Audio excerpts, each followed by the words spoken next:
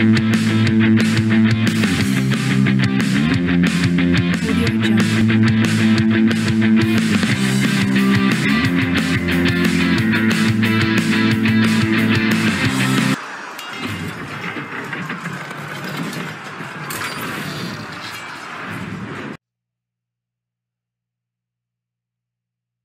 Wargamers, and welcome back to Purple Druid Presents Wargame Culture. Today, we are starting off with a new feature that uh, I uh, think we'll be calling Chainmail Culture. Uh, what we're going to do is interview a series of guests about how they learned about Chainmail, the miniatures game, and find out what they know, what they like, what they don't like, and what they're going to do. Tonight's guest is Taylor from Clerics Wear Ringmail. He has a podcast, a YouTube channel, and a blog. Uh, Taylor, welcome to the show. Thank you. Uh, thank you, sir, for having me on. Uh, why don't you tell me a little bit first about uh, Clerics Wear Ringmail? Um, you know, what what is it that you're doing in that space, and what uh, what are, what are your maybe your goals? Clerics wear ringmail.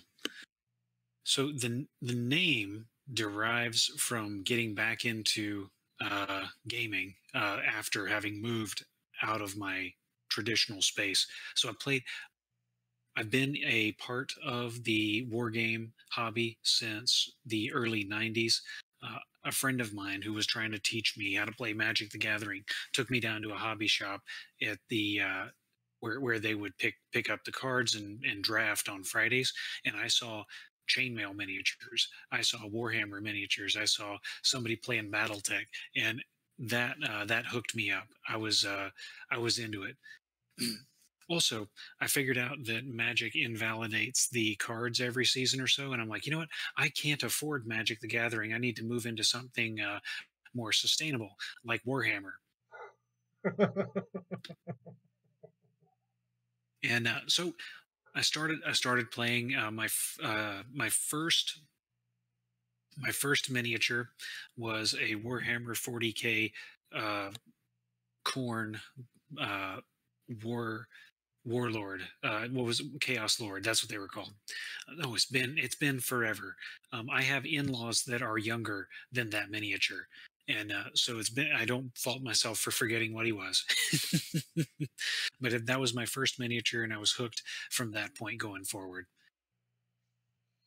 And uh, so yeah cool. yeah i uh, i have a similar story where I, I fell into the the miniatures business hard and i also gave up on magic the gathering because i couldn't afford both hobbies.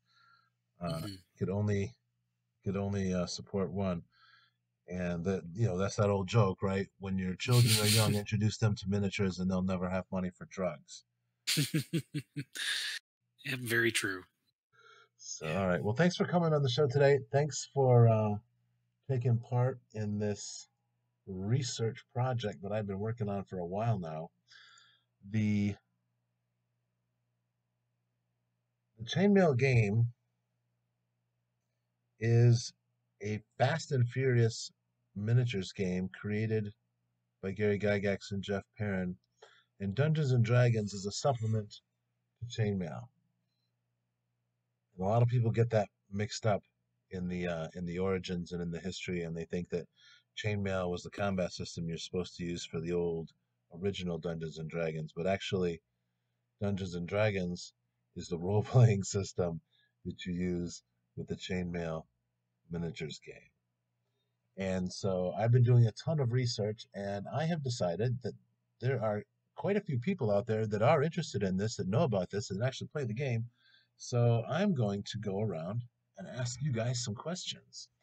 Uh, I've got a set of eight questions. I'm going to ask them of you as well as some of the other folks uh, in the community. And I think we should just go ahead and get right down to it. How did you discover slash find out about Chainmail, the miniatures game?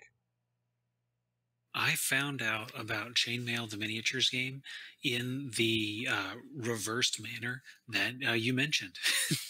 uh, so I mentioned that when I was a kid, I found the uh, Chainmail miniatures uh, at my uh, local friendly gaming shop it was more of a local gaming shop. I don't know how friendly it was, but it was a local gaming shop nonetheless. And they had those old TSR produced miniatures. And I remember thinking, what are these even for? Uh, I guess people are using them to play role playing games, but uh, the only the only games people I know are playing around here are the these Warhammer the Warhammer uh, type games. The uh, the yeah, that was pretty much it. There was a big GW shop back then, but that's okay. And so for me, I knew the miniatures existed, but I didn't know what the game was about behind them. And so fast forward uh, into uh, into the college where I really got heavy into Dungeons and Dragons, and my my buddies and I played a lot of third edition, which in and of itself it's not uh, as and I'm, I'm my primary audience is the the old school Renaissance kind of audience, and third edition kind of anathema to that mind to that to that mindset but half of its attitude and we were playing it we were playing it to go into the dungeons. We were playing it to build those armies and to conquer that that space around us. And then during that time per- period wizards of the coast re-released a third edition reboot of chainmail which would eventually turn into d&d minis as i understand it which operated principally off of a similar D20 mechanic to the third edition rule set. I bought a handful of miniatures there. We played a bunch of those miniatures. Some of my buddies repainted the WizKids uh, or Wizards miniatures that came in the booster packs, and uh, more power to them. They are much more talented than I am. Uh, and then uh, fast fast forward again once i got out of college i was playing a lot I, I moved away to do to get a job. I started playing online a little bit and the seminal moment occurred when my twin little boys were born. And so i started reading about the origins of the d&d hobby. And that goes back into because uh, because my I played the, the, the a lot of third edition, but my my first experience with the game was in was in second, and I'm like, okay, there's a second edition. That means there must be a first. So I looked into okay, what was that, and I found out about the the multiple product lines where you have the basic and the advanced, which uh, to, uh, all new to me at the time. And I started, I got into a bunch of games online, uh, and after the boys started sleeping through the night, and I eventually worked my way back to the original, uh, the Little Brown books, the the ephemeral and the um, enigmatic Little Brown books, and they came. They had all of these references to chainmail, and and thirty year old Taylor Brain made it click. He's like, okay, ten year old Taylor Brain saw all these miniatures uh, back at the hobby shop, and 30 year old Taylor is seeing this word in this game so i'm going to find out what it is. And so i think at the time you couldn't find it. I, I think there this this might have been before wizards had put the chainmail pdf pdf up for uh, sale on drive through might have been after but regardless i got a hold of a copy and uh, i have a legitimate copy now just to make sure. I went back and i did purchase it as soon as i found out it was available. And the I read into this game and it was it was just it struck me. I'm like, this is awesome. This is what I had been looking for back in those 2E uh, days, back in that right in that beginning of the third edition days. And it expands on the horizon.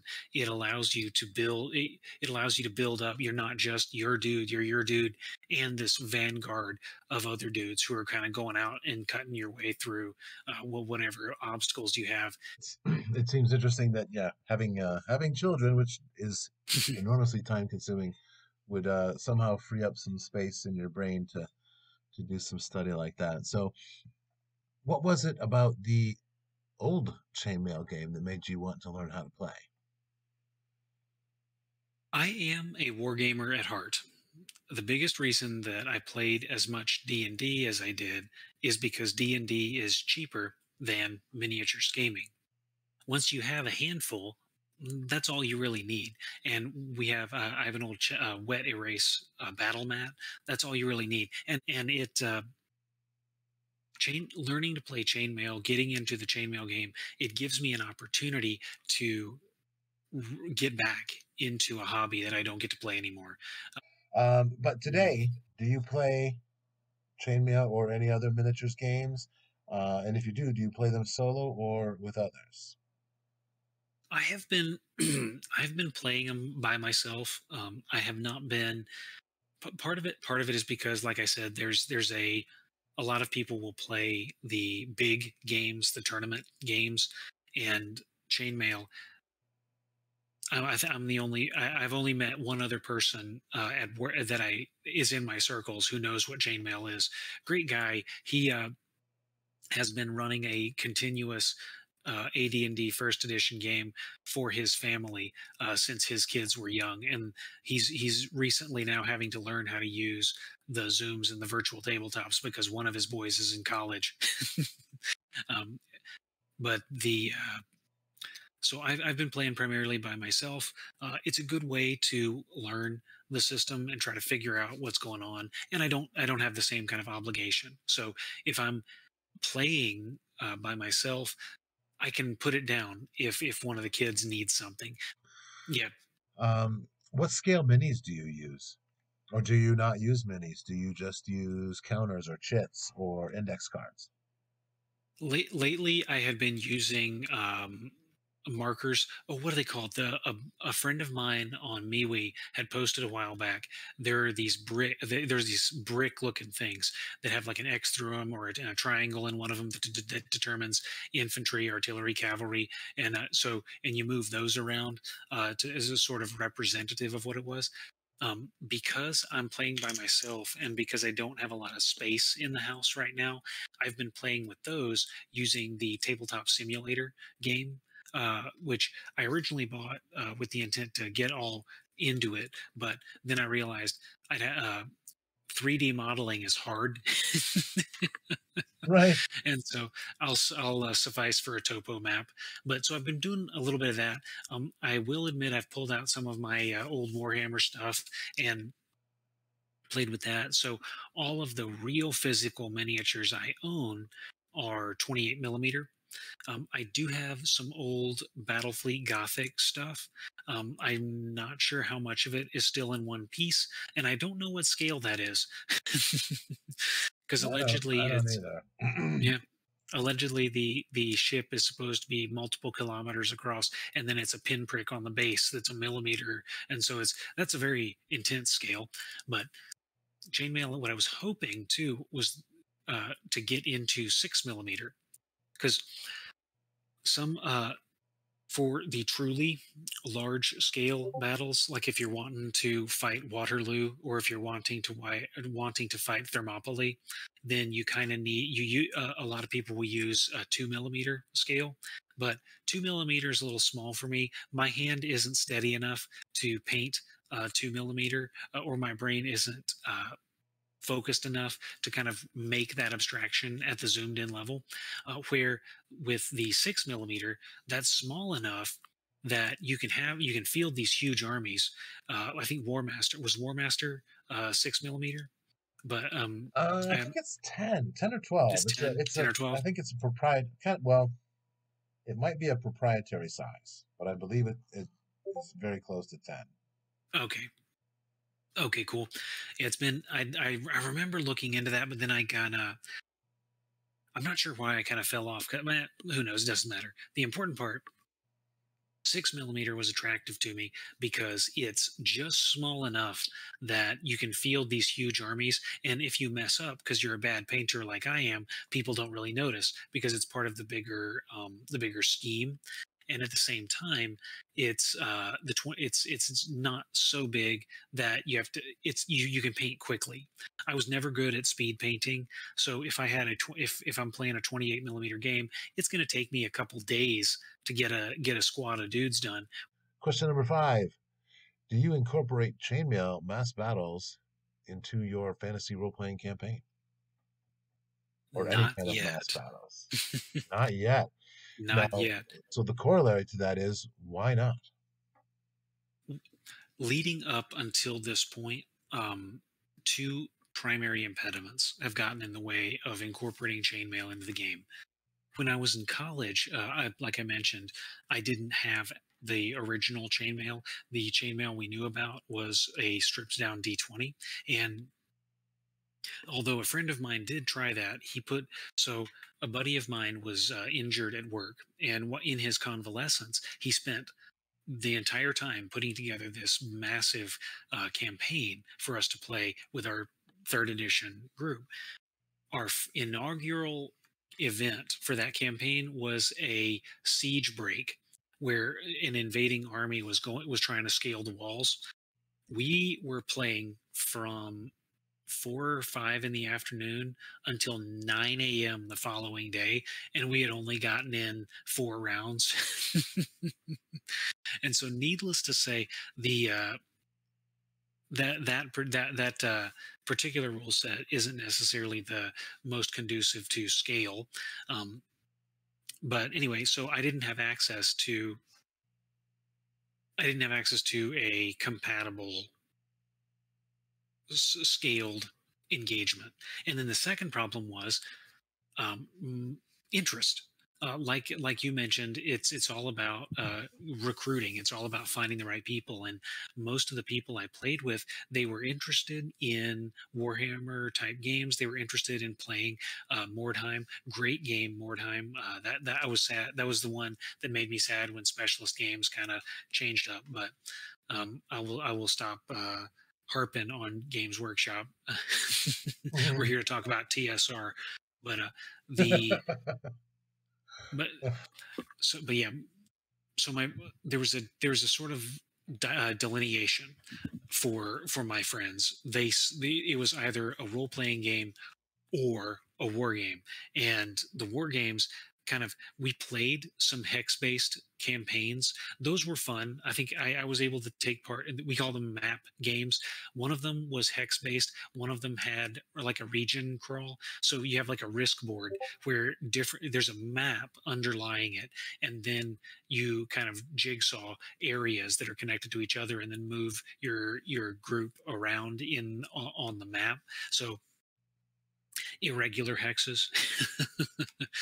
so we we've played the hex. Uh, so that was twice, and we we used a 28 millimeter scale for that. But that was always separate.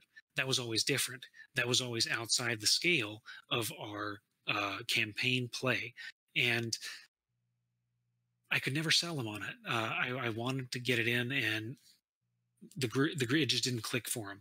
When they wanted to explore a character uh, in their in and I'm going to get in trouble for saying this because because uh, I, I, can see it now. My uh, my DMs filling up. We don't explore characters. We explore dungeons, and I agree with that. and that's why that's why I'm harping on my other friends. Um, so they they wanted to be the hero. They wanted to have that kind of small scale squad level engagement. And if if we were jumping to do the bigger scale, the the pitched battles, that was just it there was a disconnect that they didn't they didn't fit together and so that's why i have not done it or had not done it to date but where i'm going in the future um, i'm look uh, is online uh, there's a lot of interest in the game online. Uh, I've had a couple friends who I'm going back, who I had gone back and forth with. Oh man, it's, it's probably mid 2020 even and though i haven't gotten to play with you guys oh it's it's coming one of these days. But so what i'm the next big project for me is to try to get a uh, chainmail based uh, fantasy campaign going. And although you start out at level at level one you're kind of a nobody that's the beauty of those those old school games. Uh, when you equate treasure with advancement you bring that treasure back and what are you going to do with 2000 gold pieces? You've already bought your plate.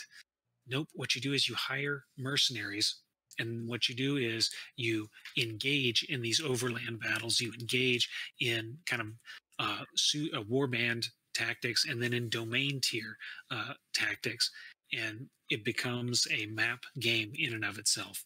And fun fun factoid in uh, you may you may depending on your circles run into different memes or jokes about 30 to 300 orcs. And that's because in the original uh, little brown books and into uh, first edition uh, i'm going to pop open my copy right here.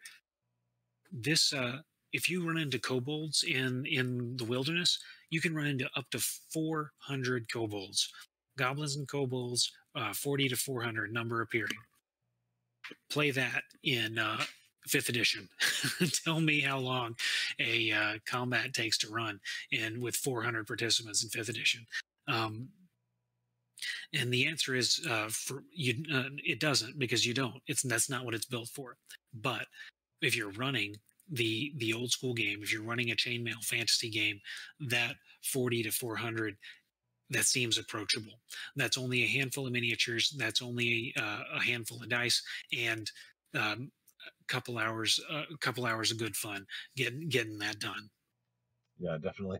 Mass combat in your fantasy game, you might find that it's easier than you think, and just coincidentally, I happened to run a, an adventure with my uh, one of my friends' groups as a proof of concept where they literally had an encounter with 168 orcs and it was set up so that they could engage with these orcs and they didn't you know they're they uh they they played it out and i made a little video about how i ran it and i actually did it over Discord voice, and I just used index cards in front of me to track where the various units were going. And they really liked it, and it it went very seamlessly. Um, I kind of wish I, I, want to do that again and record it so that people can see exactly what happens and the steps that are taken.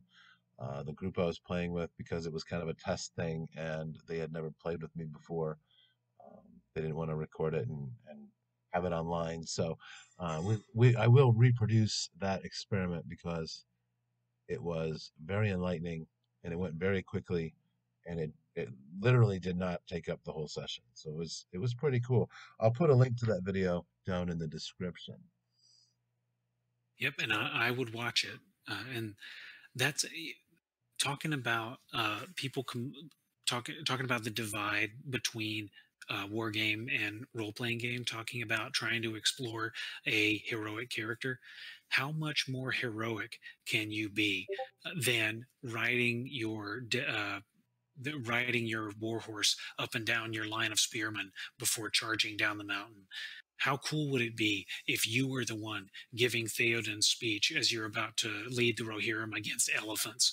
Uh, that's that's epic fantasy. So if you want you want to be the you want to be as heroic as you can be, you want to be as epic as you can be, having these war game elements, having these mass battles, that's the next logical step. That's where the that's where the big the big dogs go in myth and in legends, and that's somewhere you can go to if you have the right rule set. Absolutely, and we do have the right rule set, and we're talking about it today. And the great part is that we can bring it all back because there is this resurgence of interest in it. And especially if you go and pick up the uh, Secrets of Blackmoor movie and give that a give that a gander, uh, there's some really cool stuff in there because that's how they played the game. And like I mentioned at the beginning, you know, Dungeons and Dragons, the original game, was made as a role playing supplement for the wargaming campaign. So that is taking us to our next question, which I believe what do you like best about the chainmail combat system, miniatures, miniature gaming battle system? Yeah, all things aside, I, I actually did think about. Uh, I, I, thought about these questions in advance of coming on, and this is the one I have the most notes on. Uh, and so uh, no fear, uh, audience. Uh, me having more notes means I'm less likely to ramble. You'll get out of this one with a concise answer. And I thought about this question from two avenues. First, from the RP side, but then second, from the wargame side. From the RP side, it scratches an itch for me. Uh, there's a couple different pieces. One, there's the heroic fantasy that I talked about, and two, there is an it it helps to better explain the hit point abstraction. So if I'm playing chainmail and I put a hero down on the field, that hero is effectively immune to foot troops. You either have to have a lot of guys around me, or you have to have the precise weapon that goes through my armor because I'm just going to wade through. You have um, Sir Gregor Clegane uh, bounce, uh, crashing into a, a, mob of spearmen and then just exploding out of them like a, uh, a like a wrecking ball. Uh, scene from the only Game of Thrones book uh, I've actually read, but it's a great analogy because he is very obviously uh, fighting as multiple men, and that's an aspect of the chainmail game. And so it's not in every battle. Uh, that's in the fantasy supplement where you have these heroic and superheroic individuals, but that scratches an itch for me. For games, uh, for for some games, you'll have the cumulative wounding effect, uh, where you take a couple hits to go down before you do. Uh, for some games, it makes you harder to wound, and so you just have miss after miss after miss. With chainmail, it plays with like a dice pool. You have the ebb and the flow, and you have these. Uh, you you have the numbers rise and fall.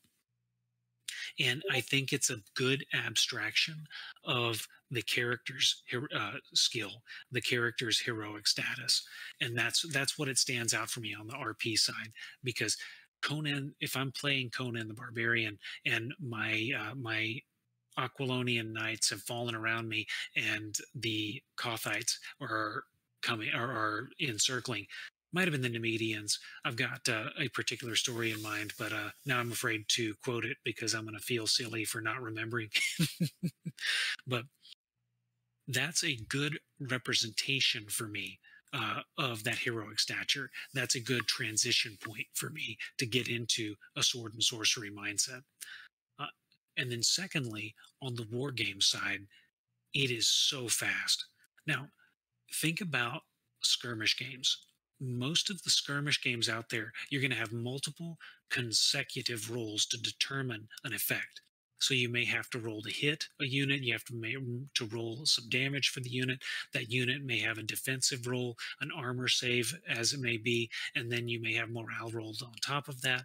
And so you have all of these rolls that happen in sequence of one another. And what does that do? That slows down play. Every time you throw dice and look at those dice to check the results, you have committed a sec uh, a section of the game to reading those results. The mass combat rules in chainmail burn that down to a single roll. You have the number of dice is based on how many dudes you have, how you're armed, and how your enemy is armored. And ba- and you throw the dice once, you count your successes, and you're good, and you go. There is a factor of morale after the fact. Um, it, it looks intimidating on paper. It's not as intimidating as it seems, especially if you pre-calculate uh, and then just modify it based on the casualties you take. But the and but the point is, once you have that down, it's built in a way that's much faster than a lot of these other games. And so you have um, uh, think about template weapons. Uh, so if you're, you're, you have a trebuchet that's full of uh, that's full of um, boulders and it's raining down on the, uh, the enemy troops, you have to figure out where it hits. You have to figure out what it does. With, with chainmail, it's a guess and go, and there's an optional rule to to scatter, but it's guess and go. And once you start hitting, it's okay. Did this unit get hit? They're out. these these units get hit. They're out. And so it's brutal in that sense, but at the same time, it's so very fast. And you can play a game of chainmail with a lot of with a lot more action on the table than you can a lot of modern skirmish games because it's abstracted because it's uh, sleek in that regard. Um, maybe the design motif came from an era when people could not afford to have as many supplies as we do today. Um, people obviously still made money back then, but dice were more expensive, paper was more expensive because the means of production were not as uh, mechanized, not as automated, and in a lot of in a lot of ways these days, a lot of the stuff is manufactured in a uh, low low cost environment, which was not available back then. So there's the there's this cost aspect to it that's different. And so was that was that scarcity and you, you the the authors uh, of the chainmail game, uh, Gary in particular, he was a on on again off again uh, work uh, as a cobbler after he had left the insurance fund he had worked for. And so he didn't have a lot of money to play with. He had a family with like five kids to worry about. And so he didn't have a lot of money to play with. Was that scarcity, was that necessity the origin of the leanness and the efficiency of the rule set? Maybe I don't know. I would have to uh, I would have to meet up with some of the people who played it back in the day and ask. But in either case, the result is a game that plays very quickly and one that you can resolve huge engagements with with plenty enough time to come back and have another. Right, absolutely. And I think you've also done some coverage right there with question number seven. How would you compare chainmail with other tabletop miniature gaming rules? And yes, I 100% have to agree with you. It is fast, it is brutal, it does move very quickly. Uh, in fact, all of the test battles that I've done haven't lasted more than four turns. Uh, admittedly, they've been set up so they stick right in, but at the same time, I have played Warhammer Fantasy Battle games all afternoon. Mm-hmm. so yeah, I know exactly what you're talking about there. Now, Absolutely. the final question, I think, and at the risk of going over time, I'm going to go ahead and ask this question anyway. Number eight, for a creative person, does this chainmail miniatures game inspire you to create your own hack or your own miniature or game rule system? Why, yes, yes, it does. All right, great. Thanks for coming. No, no okay, we're good. No, go ahead. Go ahead. Cue the music. Yeah, so I uh, in 2020 had been working on my uh, my what I what I was calling my old school essentials of chainmail. So what I was trying to do was I was trying to I read the I read the book, I started playing with the system, and I was trying to take the rules as they were, reorganize them, reword them, and present them in a way that was easy to grok, easy to reference, easy to use. Because uh, chainmail, it, it, takes a couple read throughs. Um, honestly, I get it a lot better now that I've printed it out. It's one of those books that I have a hard time reading on PDF. I don't know if it's just my my attention span, but if I if I physically am holding a printed thing, it's easier for me to understand what what's in there. But um, so that um, I had called that ring mail after my name, and and so that's uh, that's available on my blog. Though by the look of it, I have not touched that since 2021, and what what is it what is it out there? Well it's it's kind of at this point it's an unfinished state. Um, what i need to do is uh, i need to go back and kind of take the notes that i had made while playtesting it. I had a couple cool friends uh, in discord land who had volunteered to run it on their own which was absolutely fantastic. One, I was amazed that there were people out there who were interested enough to try uh, me, a total internet stranger, my interpretation of this classic game, and and see how it ran. And so I got a lot of feedback from them. And uh, whew, I have a I'm only on ver- a document version 0.1 and I I already need to go to 2.0. so there's a lot of stuff that I need to change about that manuscript to make it work and at the same time I'm, I'm inspired and so i got some i got some folks playing again i've got some real interest in it again and i think i'm going to go back and try to uh, get back into trying to get that that uh, retro clone uh, done. I'm very grateful that you gave me the opportunity to ramble a little bit uh, about that tonight.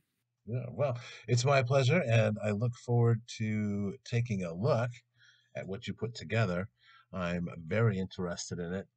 I'm actually up to my hips right now in uh, Featherstone and Bath and all those old guys and their uh, approaches to the wargaming scene.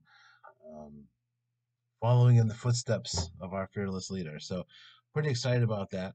Uh, once again, thank you so much for coming on and sharing your experience with chainmail with us. Uh, for those of you who are listening and are still here, thank you for paying attention. Thank you for being part of the conversation. Um, please leave comments down below. Let us know if you have any questions. Both of us will certainly be keeping an eye on the uh, comments area. And let's see what else is going on. We are also uh, planning on doing some more of these interviews as well as, uh, oh, I want to invite you, Taylor, to participate in the campaign carnival that'll be coming up later in June of 2022, which is where we are today. Um, the campaign carnival is a war game uh, carnival where I'm going to present some scenarios and people out in the community will actually go ahead and play these games and then just report back with a little paragraph on how the game went, and uh, we'll generate some battle reports. And I think it'll be a really cool thing. And we'll put together um, a little booklet and let people uh, take part in this sort of round robin uh,